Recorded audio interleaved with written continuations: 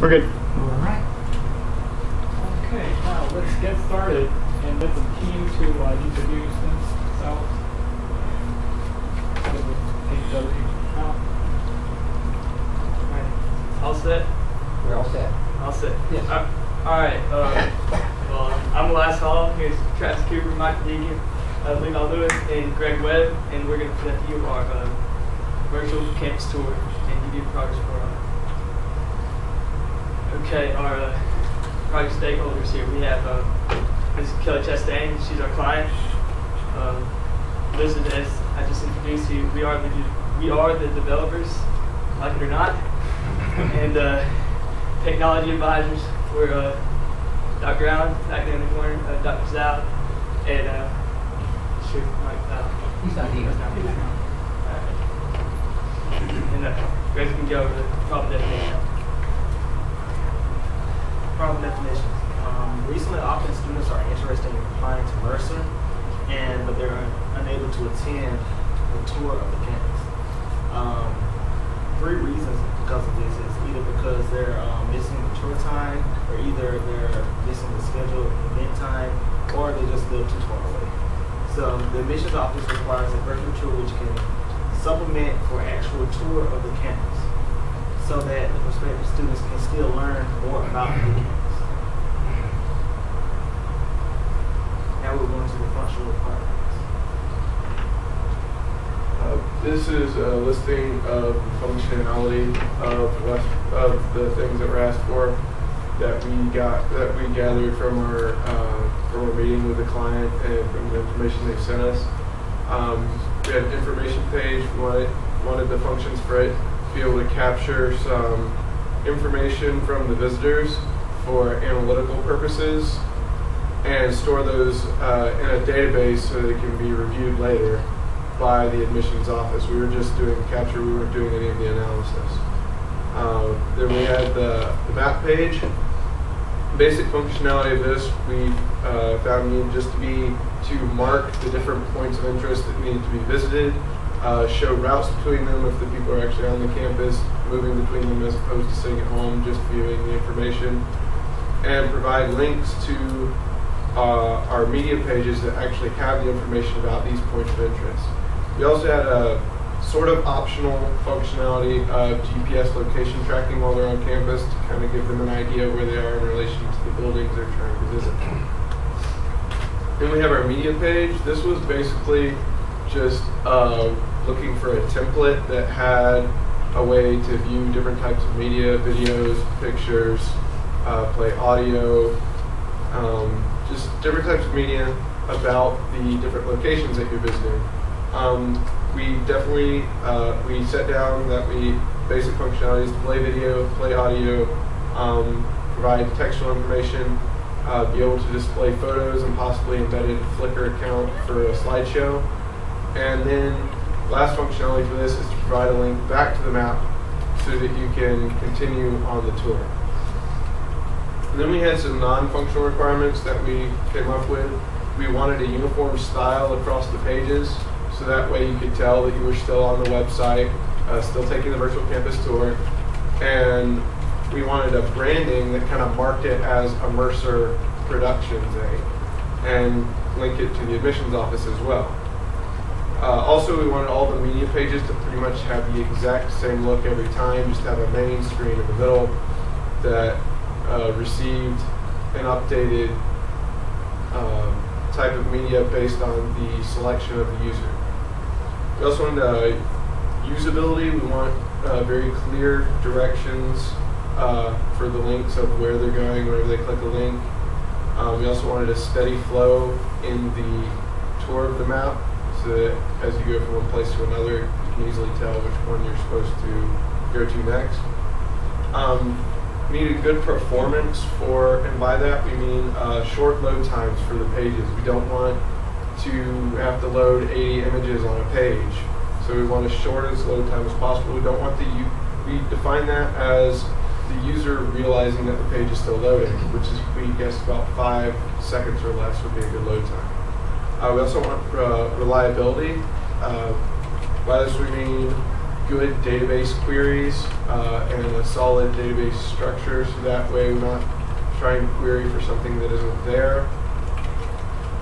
And that's in about the entirety of our non-functional requirements. Um, Elias is going to give us an analysis Okay. of our requirements. Yes.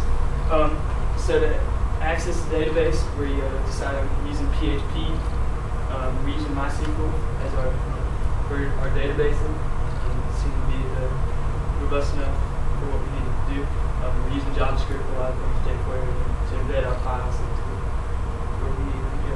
Um, Levi's going to go and talk about this a lot later. Um, talk about info boxes and how we use that with our maps page. And then we're using HTML5. It has some new features that, uh, that we can make use of um, with our videos.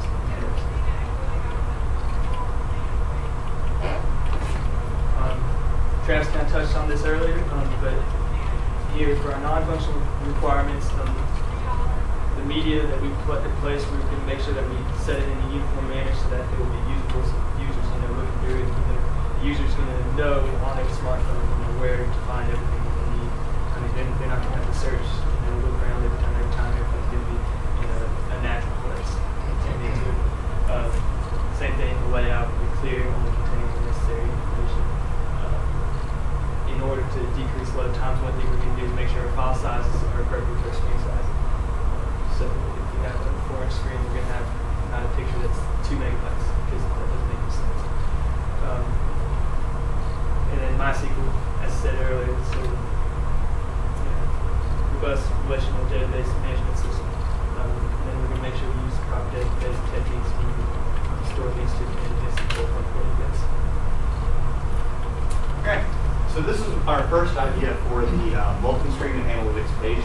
Um, it was original design was used to um, have two pages for the welcome screen and analytics. The welcome page would introduce the user to the application and tell them how to use it. And once they click the start uh, icon here, we go to the analytics page, where we collect information that the uh, admissions office would like to use for their records. Um, the, the, um, for example, we have first name, last name, high school graduation year, and email address. And when we click the go button, it would then go on to the form. All right, and this is our first design as far as the tour goes. Um, it focuses more around the media than the actual tour. Uh, it's designed to be a universal format for each location, so no matter where you were on the campus tour, it would always look similar to this. The top would have some sort of carousel that would have all the media types, whether it be images or video. And in the center, it would have the main one that the user selected. So if they click one of these media types at the top, it would bring it down here and make it larger so the user can see it. It also contains some text about the, um, the current location, or possibly text that um, talks about the image that the user has selected. Uh, the uh, page would also have back and next icons, so the uh, are links so that the user can iterate through the entire tour. And if they wanted to see the map at any time, they would click this icon, or hyperlink, and it would bring up a pop-up video of the map of campus. Um, the pros of this are, of course, universality, so no matter where you are, it looks the same. And it utilizes the smartphone screen's real estate well, meaning that there's not really any space on the screen that is wasted, which is very important when it comes to smartphones. The cons of this we found were, or when we talked to the client, whereas it didn't flow with the map page well, it didn't have a tour feel. It basically looked like you were on a site talking about Mercer, not actually taking a tour. So we decided to modify it. This is a more up, uh, more uh, closer to the design we actually chose.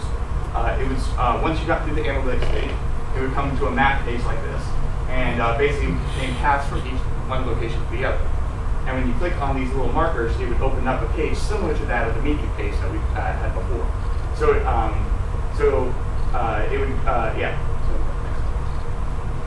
So, the pros of this were it implements the universality of the first design, but it still has a map page flow to it. Uh, the cons to it is the design may be bulky because we have to use some things like either uh, Canvas or Google uh, Maps API, which have a lot of things to load. Uh, not to mention uh, creating a path between points. So that was one of our concerns about this design. I'm actually going to talk about our current design. Currently, we, our, current design has three pages. It starts off with the analytics page where it will collect information about the user voluntarily, and then they can proceed on to the map page from that. We use, use a form and we have a submit button for submitting information.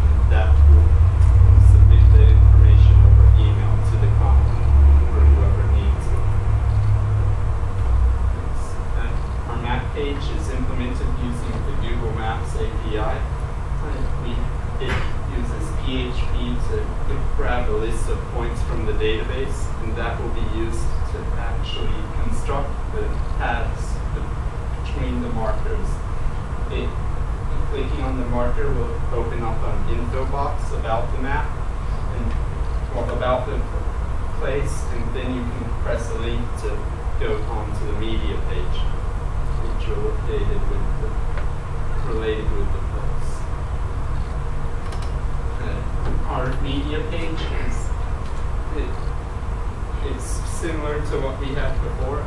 And it's it opens up in a new form, so going back to the win map page is just you clicking the X in the top of the corner. Uh, we start off with a header, just identifying the place that we're, this is describing. And then we have our carousel of images, and hopefully it will contain other media as well.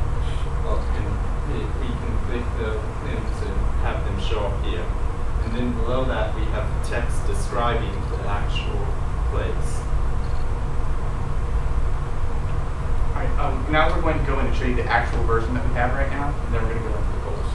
So I'm going to start by showing the working uh, form page. Um, so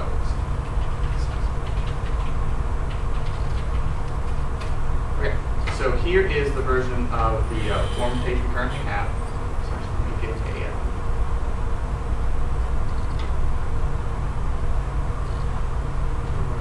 Uh, oh, uh, so we can show the uh, email form.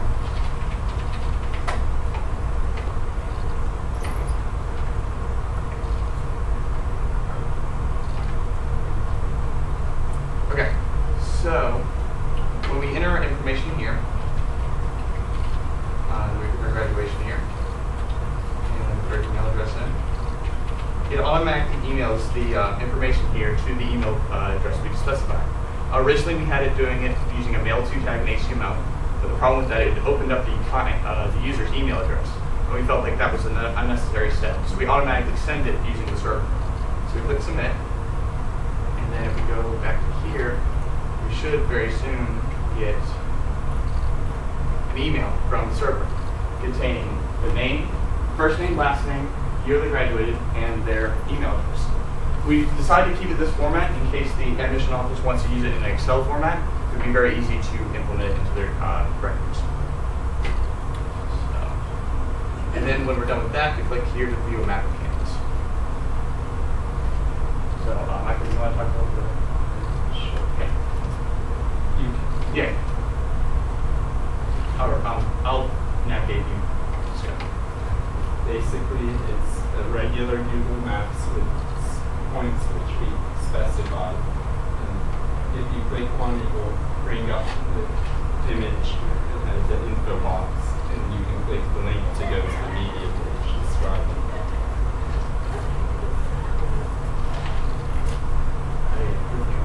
Uh, this is a media page. Uh, me and Greg and been uh, working on this.